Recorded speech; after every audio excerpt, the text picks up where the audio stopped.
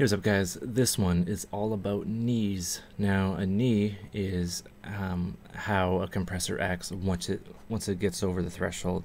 So if, yeah, we'll set up an example, high ratio. So this is a hard knee and this would be a soft knee. A hard knee, nothing happens until after um, the, the peak goes over the threshold, then it reacts, right? If you have this, it starts to react a little bit before the signal. Um, so you get more of a smoother uh, compression. It's not so apparent. Right? It's just, it, it's basically like a hard or soft knee. It makes, it makes it a, a little bit more uh, smooth. Um, and that's basically what it's used for. Um, so say you wanted a, uh, a clap per se. We have this. Let's uh, bring it on down. Right, so that's pretty intense and apparent. We'll have a softer uh, knee setting. It's softer, right? We could do that on other audio too. So right, you can see right here, it's compressing um, a little before it uh, goes to the threshold. So this is compressing um, with a hard knee. So you can see how that sounds. Just experiment.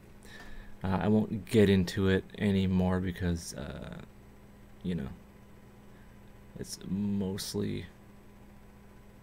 You don't really use it that much unless you're dealing with smoother material. So you use like a, a, a soft knee for vocals or something that needs something a bit more, you know, tuning, or not tuning, uh, some something a bit a bit more. It it makes the the compressor not so reactive. It doesn't grab onto the audio, um, but a hard knee is very reactive.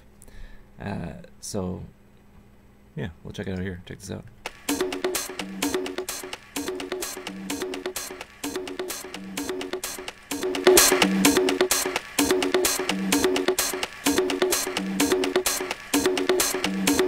So we get a, we, it's it's subtle, but we get a smoother uh, compression.